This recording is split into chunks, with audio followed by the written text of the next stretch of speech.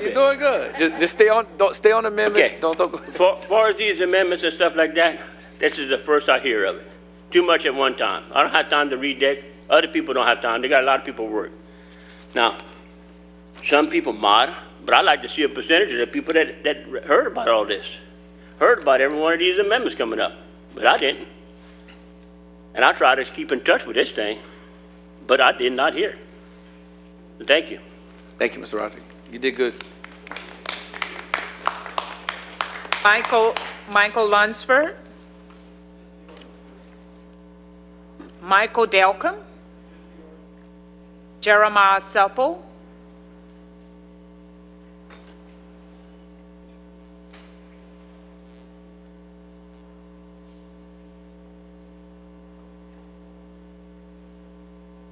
You, you could cross the red tape.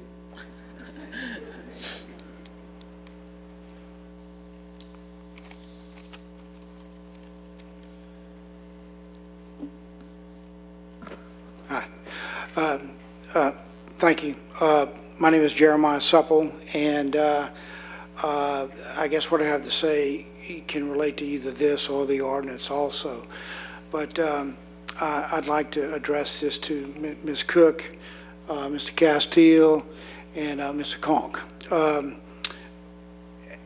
uh, Ms. Cook, at your town hall meeting, I asked the question, would you be able to give, give me your word Yes, sir. that you would be able to, gotta stick. You know, you get your five minutes. It's not like a question and answer deal. So you got five minutes to talk on the amendment, and then if she wants to chime in and, and answer your question, you can. I- I'm not asking her a question, I'm making a statement. Okay, sound like a question. Okay, go ahead. Okay. Um, Can you take that off my time? Um, So, I could- so I that. could take uh, five off. But I, I asked the question at your, uh, if you would mind giving me your word that we would have at least two weeks for a final document so that we would have time to study that document, understand it, and have a conversation with you about that. And that's not what happened. But you gave me your word, Mr. Conque and Mr. Castille, you backed her up and, and agreed to the two-week period.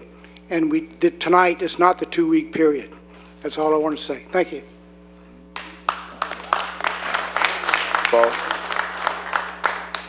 Next speaker, please. Kim Goodell. She'll wait. Karen DeCluitt. I'd like to defer to the ordinance, please. Jeff Daly. And the final speaker, Ravis Martinez. Ordinance. Okay.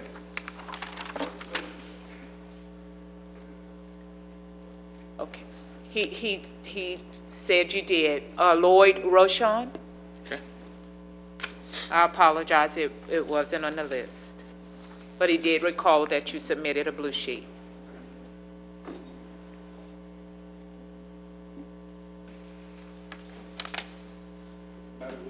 E- either one, Mr. Lloyd. Mr. Duyon, ladies and gentlemen of the council, I've never seen anything like this. Such an important document as this is going to be used to manage the affairs of this city and parish for the next generations.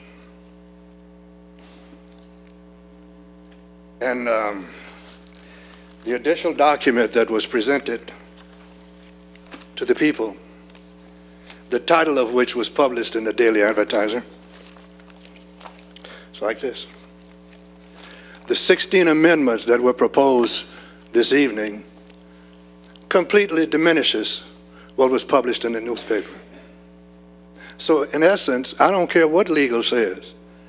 Common sense says that you should delay the adoption of this and lay it over until an appropriate time when we, the citizens, can have an opportunity to speak to the effect that this document is going to have on not only us today, but future generations. To do otherwise would be a great disservice to our community, uh, and especially Not only those people in the city of Lafayette, but those people who are in the unincorporated area who are being completely disenfranchised by this document. Uh, Am I allowed to go ahead and speak to the ordinance itself now? Um, that would be at the end. That'd be at the end. called Th- again. This would, this would be just for the, uh, the amendment, Mr. Lawyer. This is completely inappropriate, and I will guarantee you that should this go forward to the Justice Department, they will rule this down. I've never seen something such as this in all of my, I, I worked in this building for 23 years. I was clerk of the city parish council. I have never seen anything of this, of this nature to be tried to pull on the public. Let's get it right, folks. If we're going to do it, let's do it right. Thank you.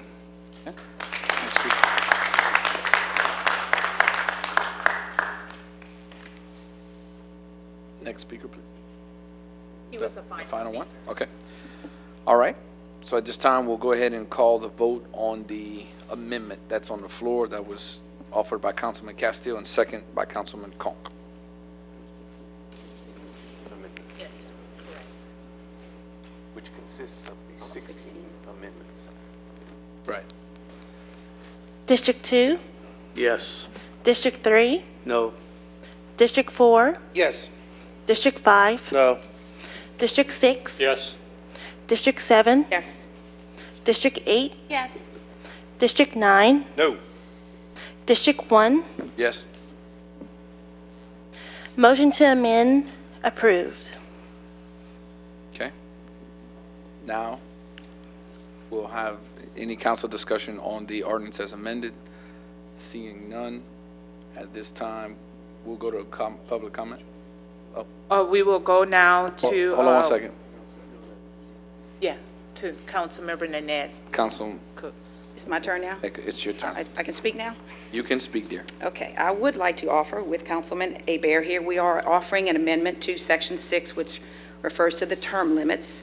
Um, We would like to offer the amendment which would state that all current members, and of course, legal can probably clean this up, all current members' term limits would also apply toward the new council. So not only termed-out members, but all current council members' terms existing right now would move forward with them in either of the two councils, moving forward. Okay, uh, Mr. Escott, Yes, sir. before I ask the motion in a second, did you get a chance to hear Ms. Nanette Cook's? I, I did, and we have uh, pre-prepared, Mr. Hebert will handle Ms. Cook's amendment. Okay, Did- do you want to go ahead and read? Yes, sir. Okay. I, I think you have this in your packets already, but this would be some uh, amendments to Section 201E, which would change um, the, uh, I'm going to just read the entire thing as amended instead of trying to tell you what's, what's out and what's in. Uh, This is, this is the amended E. A city council or parish council member who has served more than two and one-half terms in three consecutive terms shall not be eligible to qualify as a candidate for council member for the succeeding term this was some already added language here, on the same council on which he or she has served. The term limitations of this subsection apply only to service for consecutive terms on the same council. This is, this is part of the, the amendment that Ms. Cook is offering. Except that consecutive terms served on the city parish council prior to January 6th, 2020 shall be counted toward the term limitations of this subsection for both the city council and the parish council. A council member who becomes term limited on one council is not disqualified from serving on the other council unless the term limitation results in whole or in part from service on the city parish council as provided herein. And the proposed amendment would go on to delete the language that was inserted uh, on July 10th, which dealt with only council members who are term limited at the end of your present term. So that language would be removed. Okay, that's good. Uh, That's exactly what he said, yes. Okay, so to, to, and- to clarify it for the, for the people watching and Yes, people sir. here, an example would be Councilman Naquin, Councilman A, Councilwoman Hebert Cook, and Councilman Pat Lewis, and Councilman Conque Correct. would, for example, I'm in my second term under this formation of government, should it go to the voters and they decide to through the charter, and you I- run, and you I get run. one more term. I'm only eligible for the one, which will concede the, Yes. the three consecutive. Yes. Under the current version that was introduced on July 10th, the term limitation only applies to those who are term limited on this council. Now, at, at the end of this current term, they would not be permitted to run for either council.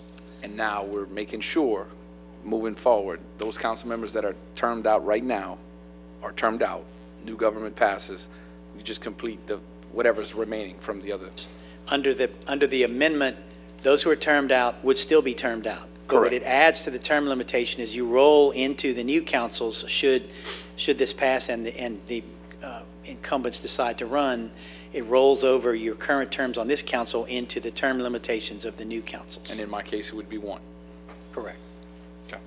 Right. We were just looking for some consistency and and fairness across the board. So No, that's I'm, I'm in support of that, Where we came up with this. Okay. Yeah. Thank you very much. no problem. Um, We got some councilman before we do the motion in a second. Uh, Councilman Boudreaux. Mike, we just amended um, a section of term limit um, on Councilman Castille's amendment, and that has passed six to three. Yes, sir. So that is now part of the ordinance. What Ms. Cook is proposing, are you considering that an additional amendment to Yes. add, or are you considering that in place of what we've just done? In place of what you've just done. It would be, it would be to replace what was just uh, adopted as part of the comprehensive package of amendments. Okay, so, so what we just voted six to three on in favor of would be undone with a favorable vote from Councilman Cook? Correct. It would be replaced, this one section, 201E, would be replaced with this amendment, and everything else that was just adopted would, uh, Okay. that rest of So- the amendment would stay the same. So I'm, I'm not going to support that, and I'm going to tell you why. And, um, you know, there were individuals who I think was trying to get rid of Boudreaux and Castille, and they were successful with that because I offered myself up. But when we start making policy that's defunct, there's not a lawyer in America who is going to agree that preventing someone to run for an unoccupied office is constitutional. And I think that's what happened in 1992, is that what was originally proposed as good law got changed and, and, and, and tried to appease people so much and make people comfortable. This is why we're in the condition we're in now. What I will say to the ladies who's offering this amendment, what will happen is like what happened in 2008 when we came on board as eight of nine new members. In 2024, when the four you all term off, along with the mayor president due to term limits, uh, yet again, the government starts from scratch. And just like any private, people like to say run it like a business, just like any private function, any private professional services, when you don't have experience in office, you have problems, okay? Now, the, the four members who are terming off this year, I think that was appropriate. Myself, Castille, Bellard, and Theriot, for those people who felt this action was being done for our sake. That wasn't the case. I think addressing that is fine, and that's what we did in our amendment. But to continue to pass that on greater than what term limits already call for, term limits never would go away. It's just that it would allow the, the, the new members, Councilman Lewis, Conque, and the two of you all to stay on and offer that experience that's going to be needed during transition. So I'm not going to support this. Um, we, we offered ourselves up for the sake of making people comfortable that this was not about circumventing term limits. But if we yet again put this government in that position, we're putting it at risk. And, and many people feel that what you see going on in Congress and in Baton Rouge is because of the impact of term limits and constantly having new people who don't have a clue of the functions of government over and over coming in on short notice and not able to get adapted and antiquated to these processes. Therefore, things don't get done like four special sessions at the state level. So congratulations, but I'm not going to be able to support this from a principal's perspective. Okay, Councilman Theriot. Mr. Hebert, a couple of things. Um, Mr. Boudreaux touched on one. I spoke to somebody in reference to, in dealing with the, the state constitution. First question to you is, does state constitution trump local government? Does the state constitution trump local government? Yeah. The, I mean, and I'm not sure what the question. I question guess means. in reference to term limits. The, the state constitution um, is the governing document which governs the state statutes and local ordinances as well, Okay, from what I'm being told, and home rule charters. is that even, and I've already made it clear, I'm not running again. The four term limited individuals, even with the amendment that's proposed and has been, and with the addition of what, was being proposed here, that if somebody were to fight that constitutionally, that there's no way it would hold up. I know you guys and Mr. Escott maybe do not have an opinion on that at this point, but if somebody filed suit on that, I have an opinion on that. you do? Far away. Uh, I, I don't believe it's correct that term limits are, are unconstitutional. That's actually an issue that we researched quite specifically um, in uh, conjunction with all of the term limit discussions, both the original proposal and this proposal. Um, There is an issue with shortening the term of an elected official. I think there are specific legal issues associated with that. Um, This does not do that. It provides for um, term limits just like, I mean, just a different kind of term limit as is in the current charter. And um, there's not any, any issue with, I mean, if someone is term limited um, under the current charter and they're term limited under the new charter, I don't think that raises any legal issue. Or if someone's, if, in any manner that term limits are counted, if service on the prior council is then counted towards service on any of these new councils, should this pass, uh, I don't think that raises any legal issue, and that's something that we did research specifically. even if, like we're on one council, if this splits up into two, one city council, one parish council, if somebody was term limited from a city council, uh, could they fight that they would be able to, or sue that they would be able to serve on the parish council? Well, sure, they could fight or sue. I mean, with, I, I don't know that they would win, but they, I mean, that's certainly But there is a available. chance, though, that that, that particular uh, side would come forth. They would have to go to trial, of course. I mean, you know, anything is possible, but, I mean, again, our research indicated that uh, both of these term limit um, provisions, uh, regardless of which passes, would not raise a constitutional issue. We'll you to that, Mr. Abraham. Thank you. That's all I have for now. Thank you. Okay. Just to make clear, on the floor, we need to get a motion and a second for Councilwoman Annette Cook's amendment. And I have a motion by Councilman Cook and a second by Councilwoman Ms. Hebert. We just had some council discussion. Ms. Nanette, do you want to continue to speak, or you want to go to the uh, public comment on regards to the amendment that you, go ahead.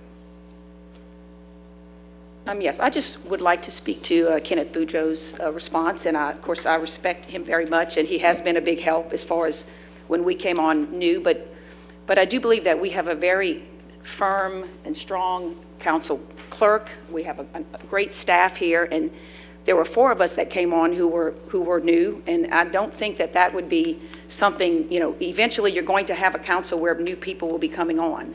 And so I'd, I'd like to think just in the, in the idea of consistency across the board and what we're trying to do here with term limits and, and current existing council people, I believe that, that, that was the intent of this particular amendment, just to be consistent. And um, I do feel like, you know, again, we have, you know, we, we can learn. When we come on board, we're all new, but we learn, we, we make it, we make that effort to, you know, do our homework and understand what's going on. So I I don't really think that that's necessarily maybe a, a a valid argument for not supporting this amendment. Thank you. Okay. Um,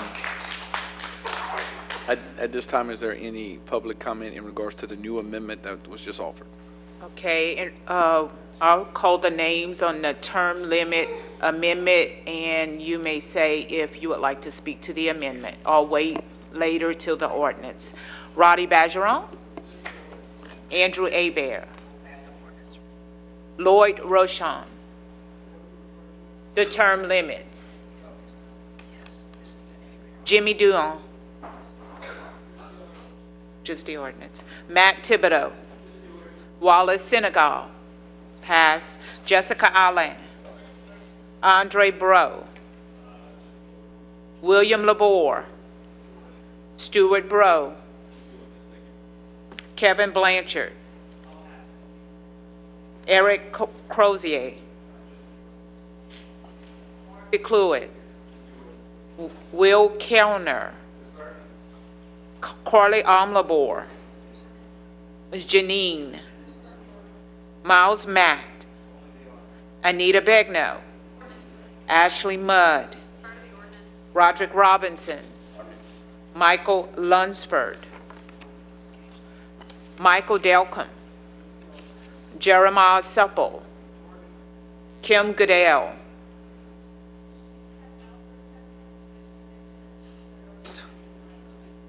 Thank you. Karen DeCluitt. Jeff Daly. Ravis Martinez.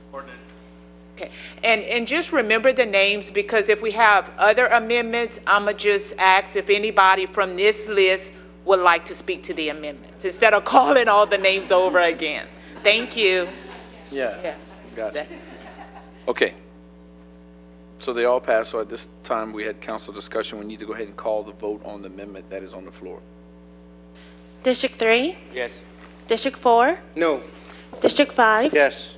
District 6, Yes. District 7, Yes. District 8, Yes. District 9, Yes. District 1, Yes? District 2. Motion to amend approved. Okay. Mr. Escott? Yes, sir. Mr. Chairman, uh, as a result of the uh, amendment offered by Councilwoman Cook Cook. and Councilwoman Hebert passing, uh, it is now uh, necessary that there be an amendment offered to amend the ordinance so that the ordinance is consistent with the amendment that just occurred to the attached proposed charter amendments. And we have the amendment that would need to be made so that the ordinance is consistent with it. That's great. So we're gonna amend an, we need an amendment to amend the ordinance to make the ordinance amended. This is the updated ordinance. Who wants to offer that? Got a motion by Councilman Castille and a second by Councilman Conque to offer that explanation. Why don't you explain to him? Can you please, for the public and for, for all of us here, understand what we need to combine what was offered and then what with the other offered Yes. and make it one? Sure. Okay. The current title of the ordinance says, Yeah, make sure we get the title right. Mr. Mr. is back there. We gotta make sure we get the title right. Just wanna make sure. The current, the current title of the ordinance says that it, it, uh, the purposes of the amendments are, among other things, to quote, "Provide that members of the existing city parish council who will be term limited at the conclusion of the current term shall not be eligible to qualify as a candidate for either the new city council or the new parish council for the first term of either council." The amendment would remove that language and replace it with the following: to apply term limits of current city parish council members to new city council and parish council. In the body of the ordinance,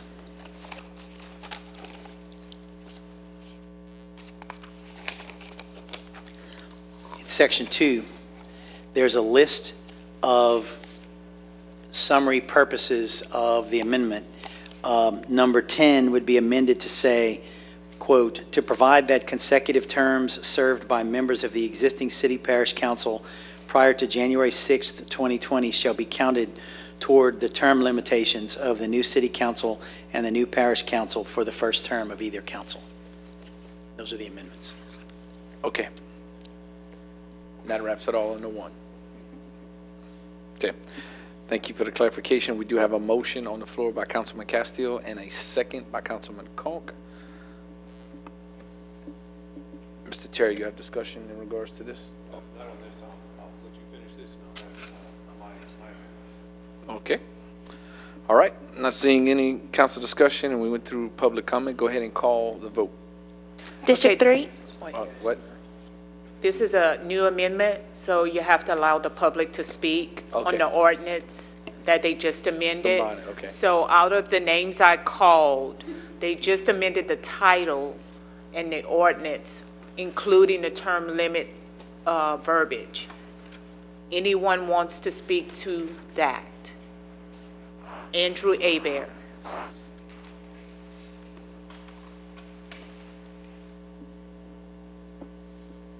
Good evening. Let me again just quote the charter. All proposed ordinance shall be introduced in writing, shall be confined to one subject expressed clearly in the title. Section 3, 2-12, ordinances general, Part A. Part B, all proposed ordinances shall be read by title, except that ordinances proposing amendments to the charter shall be published in full. When you introduced this ordinance, was that clause you just put in in the introductory ordinance or not? It was not. Therefore, I believe you're not following the charter. It's very clear. That's in section B, section 2-12, ordinances in general. It says, except that ordinances proposing amendments to the charter shall be published in full at introduction. You have not done that. What's interesting is, you also have the part about LUS that you did not amend, that you're now amending this other amendment. Interesting. We'll see what happens when this goes.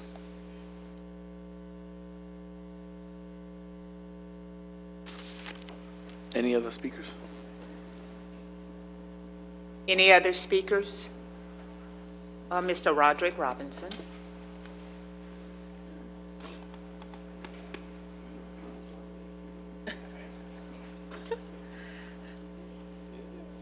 Okay, y'all keep amending this, amending that, and everything else.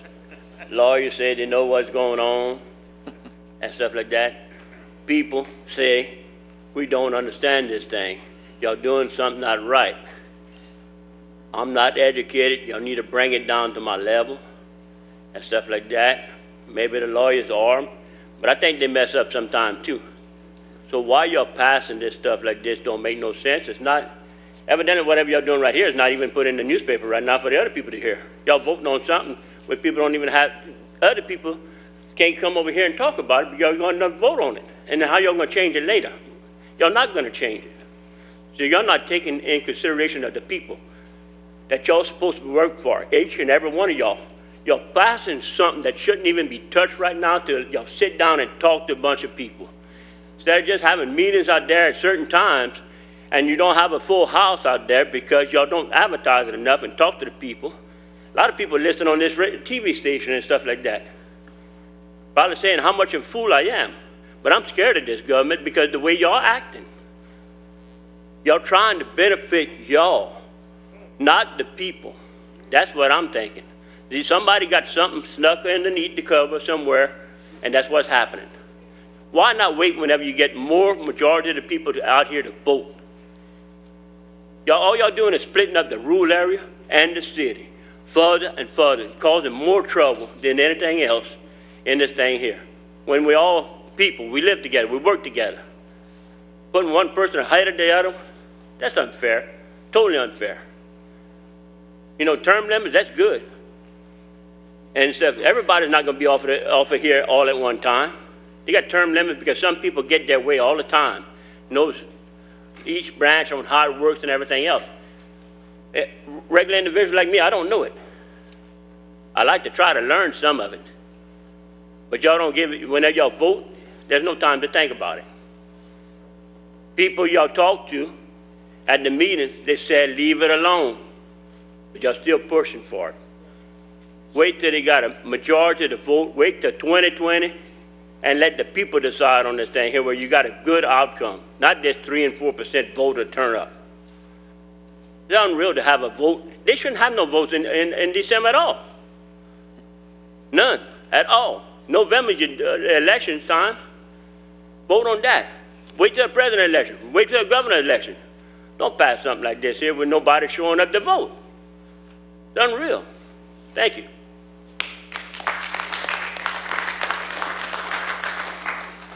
Any other speakers?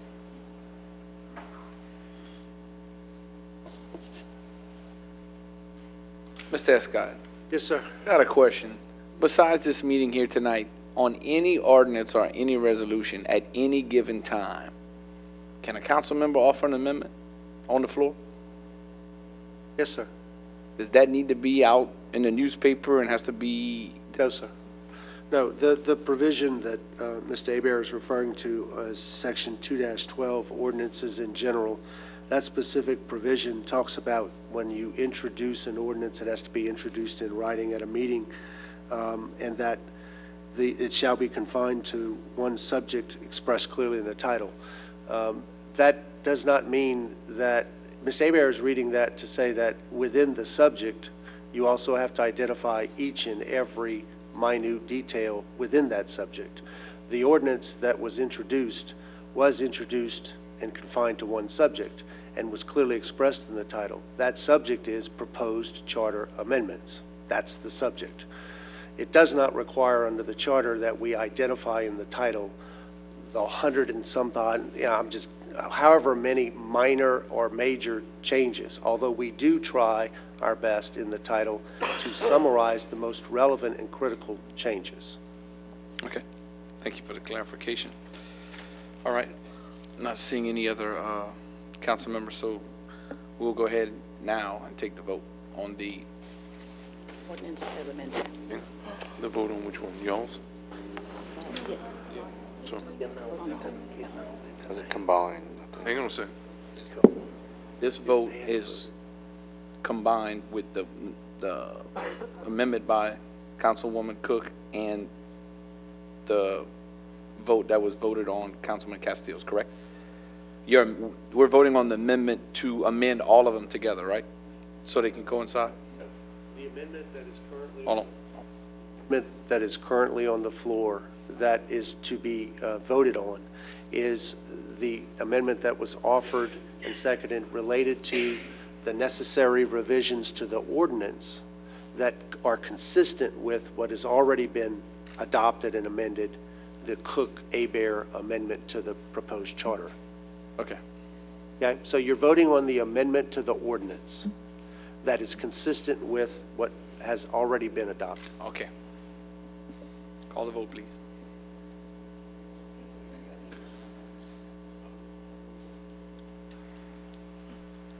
District 3? Yes. District 4? Yes. District 5? No. District 6? Yes. District 7? Yes. District 8? Yes. District 9? No. District 1? Yes, District 2? Yes. Motion to amend approved. okay.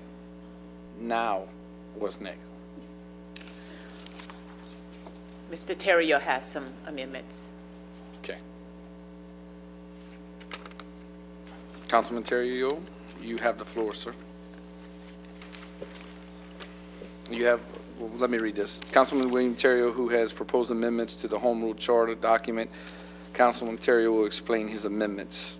I Need, um, you want to explain them, then ask for a motion? Yep, we're going to take them one by one. I'm going to take them one by one, and um,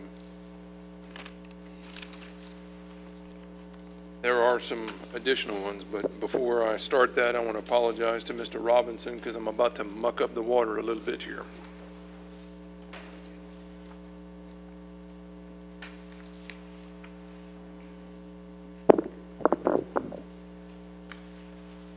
The first amendment I want to make to this charter is I want to amend the whole charter from five council members to seven council members. Please include Mr. Escott. Oh, his mic's on, believe me. He's on all night, sir. So, Mr. Escott, can we amend this current charter from five council members, and I'm talking about only in the city of Lafayette, from five to seven council members?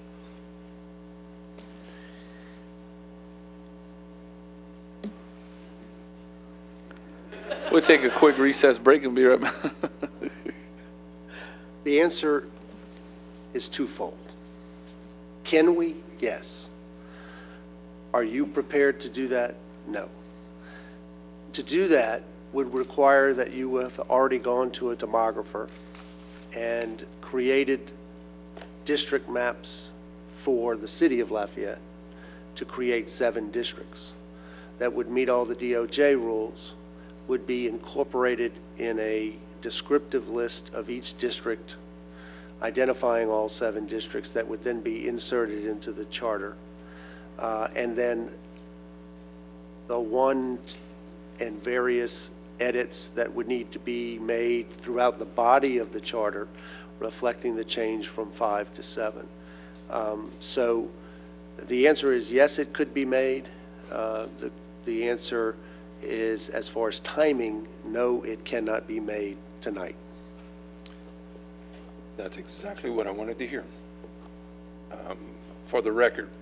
And secondly, is that this council, number one, did not, by resolution or ordinance, hire a demographer. We have no demographer that would draw those lines. Who would we contact? No one. All right, on to the next one.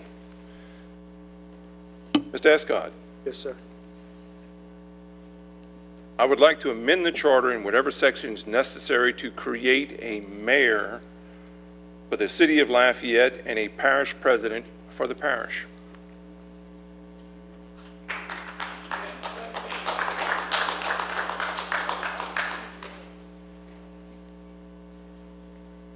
Do I need to make a motion on that and get a It- second? The, the, are you asking me, can that be done? Yes, sir. Okay. Uh, The answer to that question is uh, very similar, but slightly different than the first. Uh, Can that be done? Physically, yes. Uh, Can it be done tonight? Uh, Realistically, no. Um, And you and I had a conversation about that uh, Tuesday of this week. Yes, Where you asked for that. Uh, And by Wednesday morning, having uh, gone through it preliminarily, with only two days left uh, to meet deadlines, uh, I informed you that that could not physically get done in, in the 48 hours that it, it was requested. Um, I did suggest, however, that if you wish to pursue that, it still can be done. And it can be done and placed on a separate proposition for the March 2019 election, which would then, uh, if passed, uh, go hand in hand with the, uh, any additional charter amendments that were passed in the December election, because neither of them become effective until January 2020.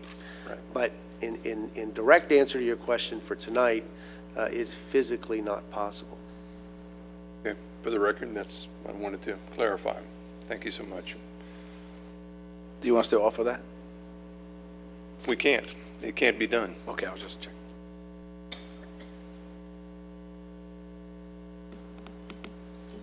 Okay, one thing I do want to, um,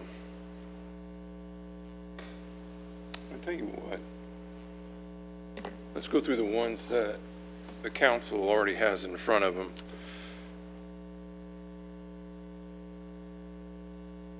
First one I want to talk about, I think, is, um, is it section 413? Mr. Escott, and I'll let you uh, talk about that. That's one you and I discussed about changing the governing authority of the police department and the fire department. Right, actually, 413 and 414, uh, you are actually, you, you don't even need to do that Right. anymore. That, that's been incorporated into the uh, previous version that was offered and, and approved. So those have, those have been accomplished. Okay. The second one, I'm going to make a, an amendment to section 6-02 Yes, sir, in dealing with recalls. I think you and I also spoke about this. that's correct. Would you like to inform the public, um, in your opinion, um, uh, with correct verbiage, of what that amendment would be? Sure, it's very simple. Uh, Under section 6-02 recall of the charter proposed, of of the charter, your, your offered amendment would be that in paragraph A, second to last line, where it references that the recall process shall be 25% of the registered voters, your amendment is to reduce that percentage down to 20%. Yes, sir. And that would be the uh, offered amendment. That's an amendment I have. We got a amendment on the floor, motion by Councilman Theriot, second. Second by Councilman Bellard. Yeah, Okay. you can. As, as part of the amendment, I'm sorry, did you already get a, a motion in a second? Second. Sir. Okay, all right. Never mind. Can I proceed? Yes. Okay. Councilman Boudreaux? Oh, something else, okay. All right, we have a, not this one, okay, we have a motion, uh, a new amendment on the floor by Councilman Theriot, Councilman Bellard, council discussion. Mr. Theriot, I have a question. What, what's the purpose of, which, going from, you said 25 to 20? 25%. I'm, I'm sorry, uh, I'll put your mic back on, I, I went to Boudreaux. Yes, it's going from 25% to 20% because um, under the uh, charter, it only takes 15% to amend the charter. Uh-huh. It only takes 20% to appeal, re- repeal the charter. Okay. you wanna So be consistent. if we're going to use that, those figures, why can't we use the same figure when it comes to recalling an elected official? Okay, makes sense. I just was getting clarification. All right. Any other council discussion in that matter? Any public comment? Or anyone out there with all of those names would like to speak in regards to the amendment Mr. Theriot just brought up? Speak to the amendment only. Hi, my name is Andy Hebert. It says any elected official of the city parish government may be removed from office. I think you need to amend that and say city council, parish council, and city parish government, because you got three of them, not just city parish government. So I think you need to amend that. Yeah, Mr. Escott, I think we kind of had this discussion on that. Would you like to elaborate on, on that? Uh, Does it need to be applied to all three, or does this cover all three based on the verbiage that we, we have in the charter? Because we certainly wouldn't, wouldn't want it to apply just to one council and not another. And I would- mean, we- if, if you want to avoid any, um, it, it could be up for debate perhaps, but if you want to avoid any, any doubt, you can simply add that if you wish. Could you clarify that in terms? And we can thank Mr. Hebert for that? Sure, you could say that uh, the other amendment that you would then offer is any elected official of either the city of Lafayette, comma, the parish of Lafayette, and/or the city parish government may be removed from office. So can I, what would I need to do is um, pull back my other amendment and substitute it with this one? You can, you Or can, can you put them both under one? I'm- you want to make it all. I want to make it clean. So should he pull that one back and then? Pull the first one back. Yeah, I'll pull the first one back and withdraw. Okay, We withdraw on the First Amendment by Mr. Theriot and the second by Councilman Bellard. And Now we will move forward with this amendment to change, make a motion as per Mr. Escott based on the recall and addressing the city, the parish, and the city parish government. and we got a motion by Councilman Theriot and a second by Councilman Bellard. Okay? Any public comment on that?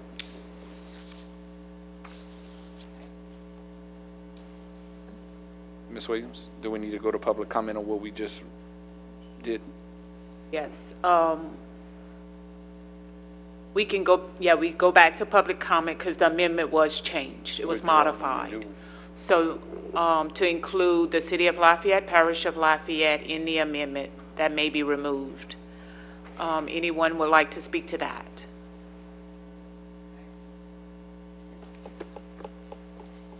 Okay. All right, now we will go ahead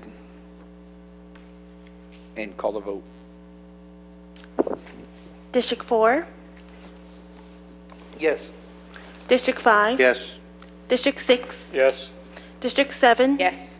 District 8, Yes. District 9. Yes. District 1, Yes. District 2, Yes. District 3.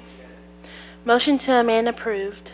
Okay, now Mr. Theriot would like to offer, a- oh. Mr. Escott, go ahead. All right.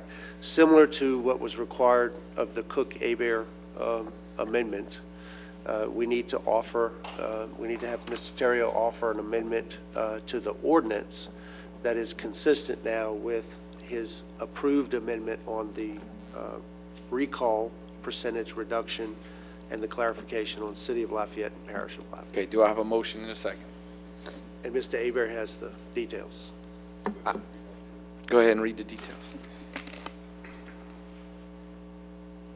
In the title of the ordinance, there is, uh, one of the list of purposes for the charter amendments uh, reads, to change the method of counting the required percentages of voters for an initiative or referendum petition. After the word petition, add the words, "and to commence the recall process." Then in the, in section two of the ordinance, in the summary, that, the, the list of 10 items that are, are uh, summarize the purposes of the ordinance in number seven, currently reads to change the method of counting the required percentages of voters for an initiative or referendum petition, add following the word petition, or for a recall proposition. Those are the appropriate changes. Thank you very much. Need a motion in a second. Motion by Councilman Theriot, second by Councilman Bellard. Any public comment in regards to another amendment? Okay. Any of those that spoke want to speak? All right. Not seeing any council discussion at this time. Let's go ahead and call the vote, please. District 4, Yes. District 5. Yes. District 6. Yes. District 7, Yes. District 8, Yes. District 9. District 1, Yes. District 2, Yes. District 3. Yes. Motion to amend approved. Okay. Hit, hit the button, Mr. Theriot. Okay, you have the floor.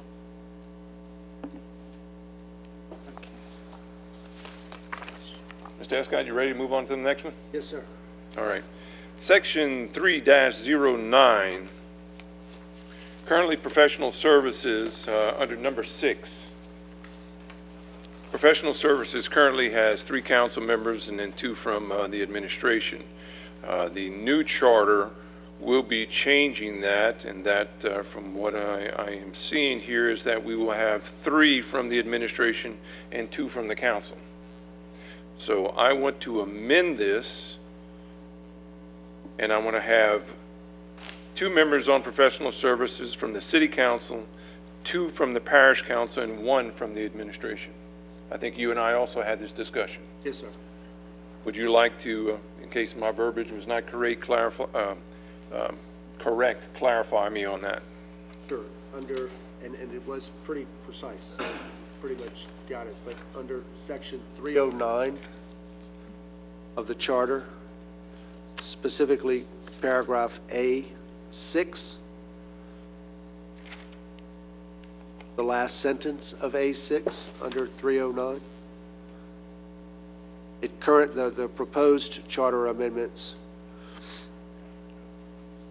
were for one to be appointed, uh, uh, members of the Professional Services Review Committee. Would consist of five members, one to be appointed by the mayor president, one to be appointed by the city council, one to be appointed by the parish council, one to be the director of public works department, and one to be the director of the utilities department. Your proposed amendment would remove the director of public works, Either or. and the Director of Utilities Department, and would result in the amendment resulting in one appointment by the mayor-president, two to be appointed by the city council, and two to be appointed by the parish council. Correct. So I'd like to make that motion. Okay. Got a motion? Is there a second? Second by Councilman Bellard. Now, um, just to clarify to the public who's listening, professional services basically are individuals, uh, council members, currently three council members, and uh, I think Public Works and someone from the administration that review contracts that go before the public or even before the, the, the- the council. And uh, that can range in dollars anywhere from a small amount to a very large amount. So that is what professional services entails. It deals with contracts. So that's all I have for now. Is there, uh, Okay. Council discussion? Councilman Castille? Thank you, Mr. Chairman. Uh, Mr. Theriot, so what you're in, in, in a sense doing is taking the power away from the mayor president, dealing with contracts and professional services by giving it to four elected officials. That's what you're saying? Taking the powers away from the parish president, the mayor president? Your your mic's hot. currently, Currently, Mr. Castille, we have three council members who have a majority, and the administration has two. So it's not taken away, it's continuing the way, basically, it has always been. I disagree with you. Instead of having uh, two, he, he will have one. So you can have uh, two um, city, uh, two for the city, two for the parish, or heck, you can even, um, uh, if this moves forward, you could actually have each council, a city council, and a parish council actually approving them um, um, on their own, like they did a long time ago before consolidation. But I do not think the administration should have three votes on professional services contracts.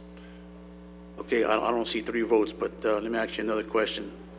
Uh, you taking the, the, the Public Works Director out of it and the Utilities Director out of it, correct?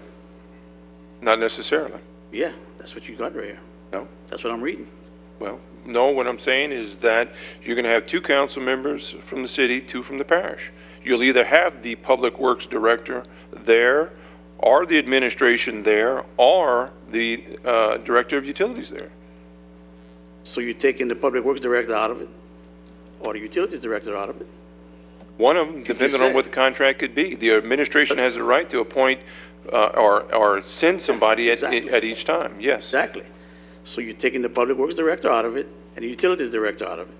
You're leaving the Mayor President, putting two city council members and two parish council members. That's what you're doing. Okay. Well, Ms. Castille, let's agree on this. Currently. Not going to agree on it. Well, no, no, no, but let, let, us agree what we're doing currently. Currently, we have three council members that have three votes on professional services, and then you have Public Works and whoever else, or the LUS director, two. So the power belongs to the council when it comes to contracts. So what this new charter is, is proposing is that the power flips from the council, from going from three votes on the council to now having three votes to the administration. That is the whole purpose of why I'm doing this. Let me ask If you're okay question. with giving the administration that power, I- that's up to you. I've got a question for you. Why don't you leave in the Public Works Director and the utility Director and leave the two council members from each one and the appointment by the Mayor President? Well, why don't we just not change it at all and leave it the way it is? You would like that, wouldn't you? I certainly would. But I wouldn't. That's why I'm here tonight. It's the same thing. So I'm, I'm asking you, why would you leave the Public Works Director out and Utilities Director out of professional services? All you're doing is you're appointing one appointment by the Mayor President. That's it. Mm-hmm. And then the two council members from each. So you're taking the two directors out of the Professional Services Committee who deal with major contracts on a daily basis, and you're doing away with them.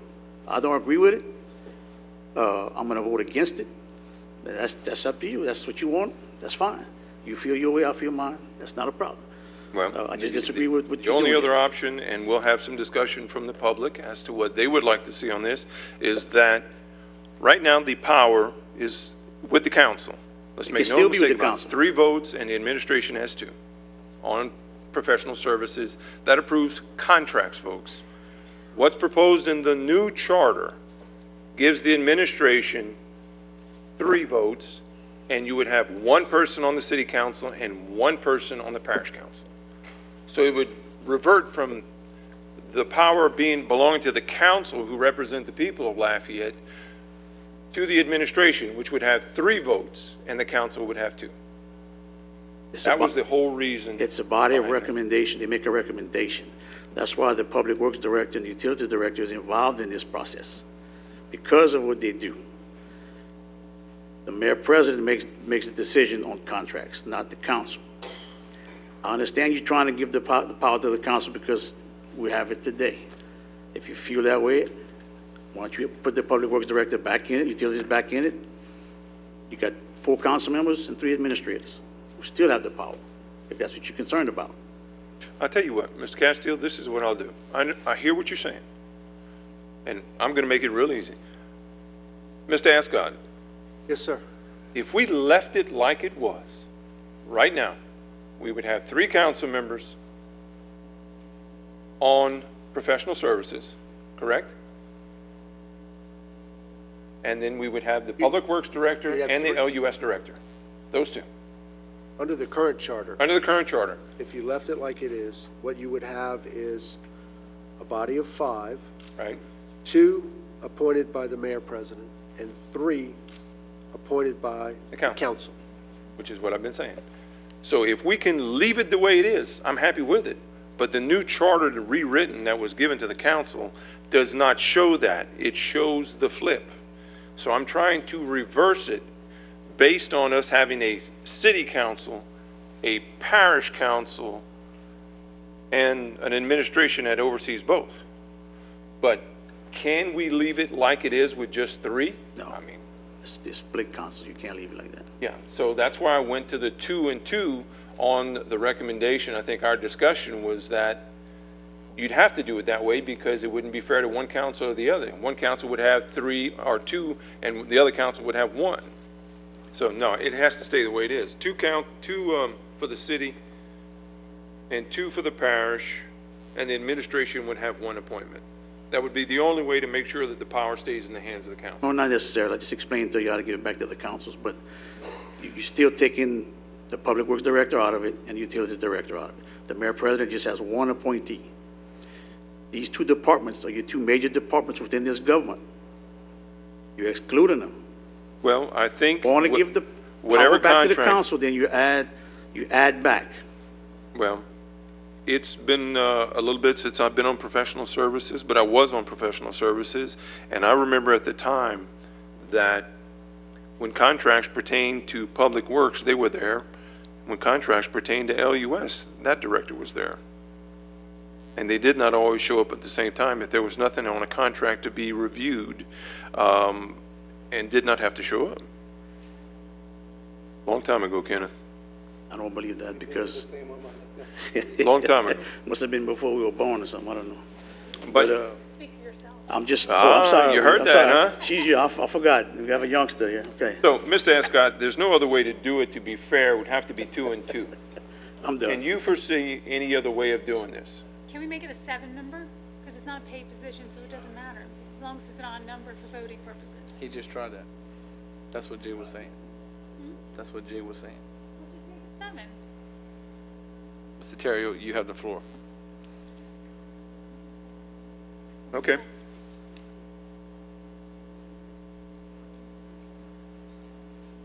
So you, you would like to add? Let's do this, let's do this. I'll withdraw my amendment, Second, Mr. And we'll check. Let's do this. A withdrawal by Mr. Theriot and Oh, it won't be the second last. by Won't be the last. Mr. Bellard. That's the process, folks. You see how complicated this is? So Has to we be discussed. now starting again. So what we'll do is we'll propose seven members. We'll have two from the city, two from the parish, one LUS, one Public Works, and one from the administration, and one, uh, uh, the parish president, There we go. Or the mayor president. So let's go by the seven, move it from five to seven. Okay. That's a motion. I make a motion that we do it that way. Mr. Bellard, would you like to second? No, not right now. Not right now, okay. We just, Ms. Hebert would go ahead and second that. So we have an amendment by Councilman Theriot and a second by Councilwoman Ms. Liz Hebert on what was just explained. Mr. Escott, do you need to explain this process? You No, understand? I, I think, I think y'all are. are- We good? Yep, Okay. unless anyone on the council is, isn't clear on the amendment, but I think Mr. Theriot uh, explained it pretty clear. Okay. And- Councilman, And, and for the record, we're talking about that amendment specific to section 309 of the charter under paragraph A6. okay. Uh, We have the motion and second. We have council discussion right now. Councilman Bellard, you have the floor. How would the director of uh, LUS or utilities, it's going to affect the unincorporated council? Wait, I'm sorry, what? Hey, explain to me again the, Mr. Theriot's, uh, What Mr. Bellard is trying to say is that applies great to city council should it pass, but in the unincorporated or the parish, we don't have LUS and we don't have fiber. So we wouldn't need that appointee. It wouldn't be seven on the parish. Well, and, and I think another thing is, is, is we don't all we're doing is giving uh, the mayor president a recommendation. He can take the recommendation, and throw it in the garbage. It's, it's not, when way we vote in the professional service, uh, like I said, I haven't been there in a long time either, but he doesn't have to go where we vote with. And uh, can you get uh, Mayor Robideaux, Mike, hot?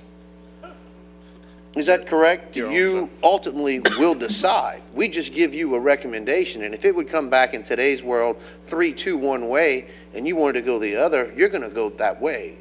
Or, I shouldn't answer for you, but you can go that way. Isn't that correct? You have the power. Well, I'm, I'm, I'm glad we're having this discussion. Um, The answer is that, yes, it is a recommendation that comes fro- from the professional services to me. Ultimately, I then select, um, which is important because under all the scenarios that we're discussing, um, there would be parish council members voting on LUS contracts and making recommendations, which defeats the whole concept of what we're talking about tonight. So I could effectively ignore those parish council votes as it relates to professional services if I so chose, or whoever's the mayor president could. So this particular instance is really complicated if you try to fix it to where there's a parish professional service and a city professional service um, would probably be the appropriate way to go about it.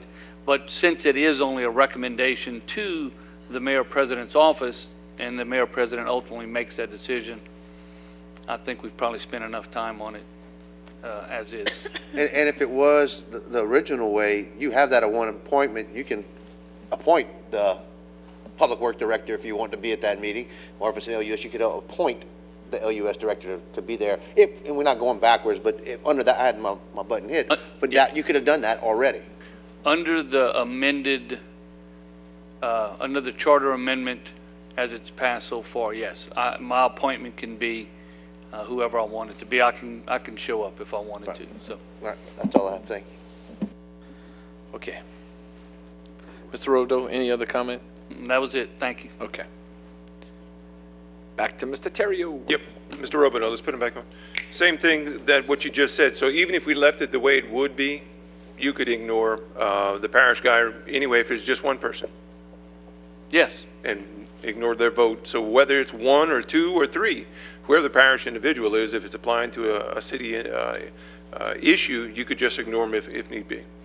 I, I'm, I have the ability to ignore the entire professional service recommendation at the risk of what other punishment may come on some other issues that I present before the council. But yes, ultimately, the mayor president's office makes that choice and, and factors in the recommendation is all. Okay, and in addition to that, not always at professional services does everybody vote in agreement with what it is. So That is true. it's not always a unanimous vote. All right, guys, I'll uh, pull back on this one and uh, I'll withdraw on the professional services. We have a withdrawal by Mr. Theriot, and Ms. Liz, do you want to withdraw that? We withdrawn, We're back to square one. Yeah. You got the floor again. Mr. Theriot, you have the floor, sir.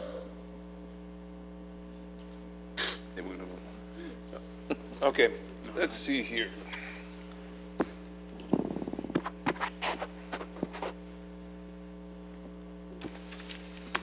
The next one, section two 8 Mr. Escott, that is investigations. Yes, sir. You and I also spoke about this.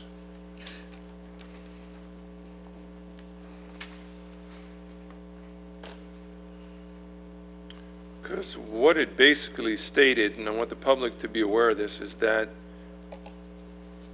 to sum it up in a nutshell, the city count, this, talking about two separate councils, the city council and a parish council. The city council has the ability to investigate the parish council, and the parish council has the ability to investigate the city council under the proposed charter. Mr. Escott, if you would like to um, uh, explain the verbiage of what this would do? Sure. Um, regarding your amendment you want to offer? Is that what you're talking about? Yes, sir. Okay. Um, This is uh, specific to Section 2-08, um, captioned investigations. The proposed amendment uh, would affect primarily the first half of that paragraph, uh, where in the first line, it says the city council and/or the parish council. Uh, The "or" would be removed. Uh, And following that, as the line goes on, acting independently or jointly, we would take out independently or. Uh, Make investigations into the affairs of and remove City of Lafayette and the Parish of Lafayette and/or.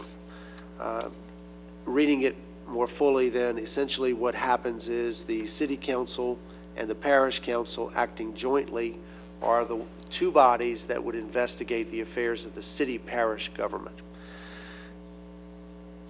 Further in the provision, there is an inserted phrase, sentence, that spec- specifies that only the city council acting independently may make invest- investigations into the affairs of the city of Lafayette and related conduct of the city of Lafayette officials, officers, employees, etc. and that only the parish council acting independently uh, may make investigations into the affairs of the parish of Lafayette and the related conduct of parish of Lafayette officials, officers, employees, etc. That is the extent of the amendment. Okay. I'd like to make that amendment. Motion by Councilman Theriot. Second by Councilman Bellard. Councilman Castille. Thank you, Mr. Chair. Um, If I'm not mistaken, we're staying consolidated in our services, which means employees, departments, um, any officer, I guess, within the department, within city parish government. So I don't understand why we are saying the city council has to act on city I'm, I'm kind of confused because it's a consolidated service. Our employees are are paid by both parish and city. So why couldn't we jointly investigate the employees, the department, the office, the agency? Right here, you, you- you're taking one or the other out of it, out of the investigation.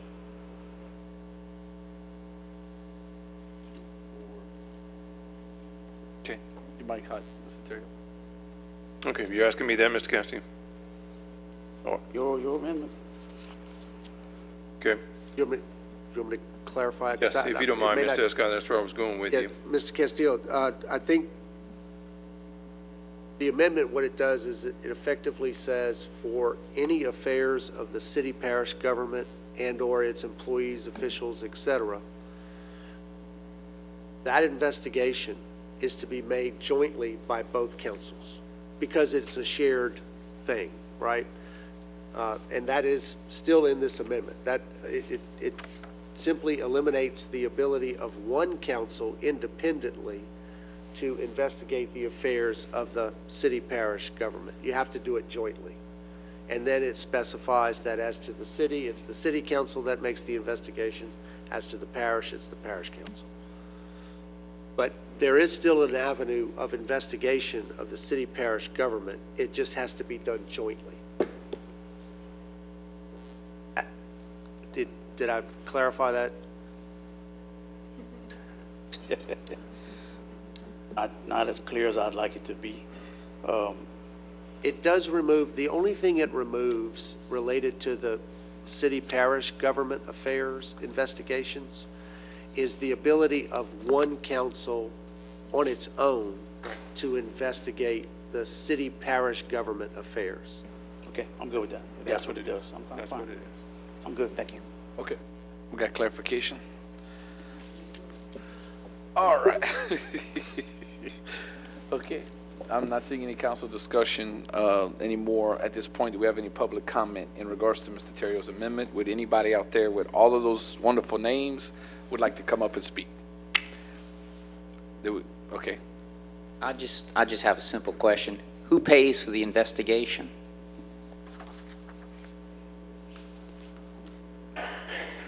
Mr. Theriot, who pays for the investigation? If it's the city, it's the city. If it's the parish, it's the parish. Clarifies it. Does that clarify, Mr. Escott? Yeah? No, I want to hear it from you. Go ahead. Your Well- mic's on.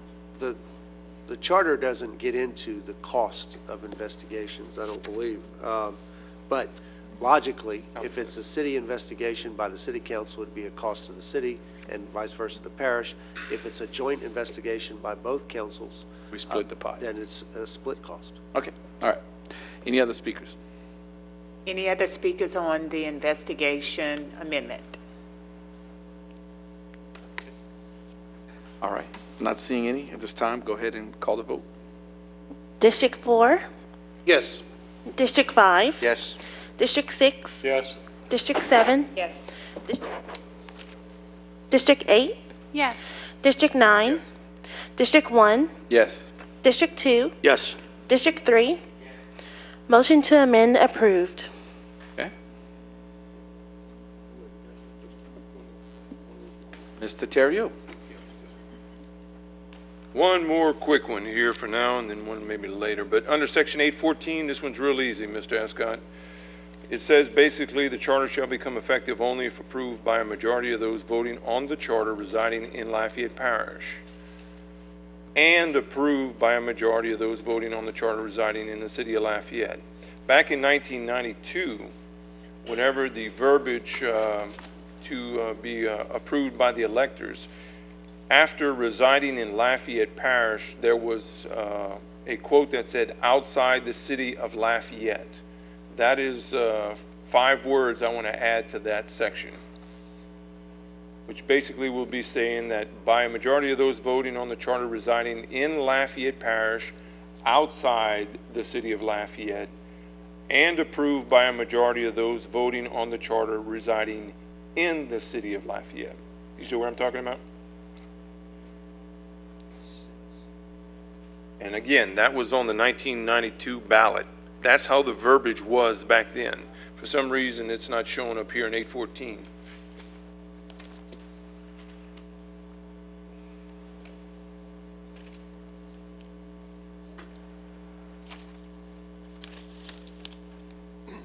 See right here? Should say.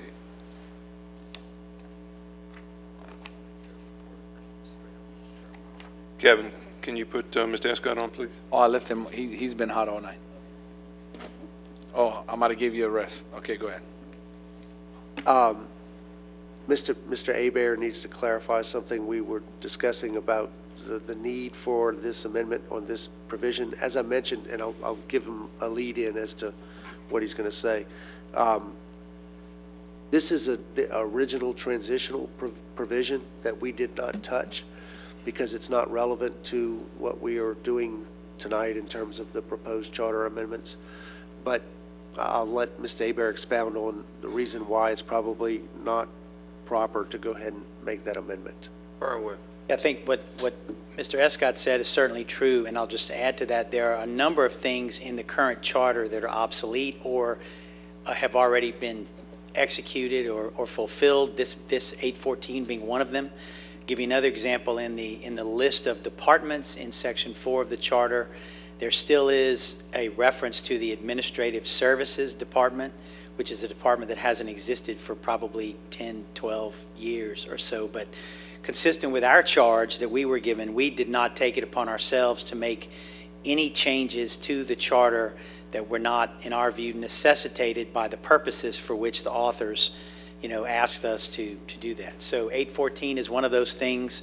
Uh, You'll see also, there's a lot of footnotes in the charter that either already, things that already happened or obsolete. So for all those reasons, 814 uh, would not be, we wouldn't touch that. And, and I would add, to change the method by which um, this charter would be voted upon uh, wouldn't be able to be done for this vote. The, the current uh, manner in which this vote, if, uh, if it goes forward to amend the charter, would be conducted, I think it's in 706, which is the provision that you asked Mr. Escott about earlier with regard to the petitions, um, that the, the current formula to... 703. 703, sorry, uh, 703.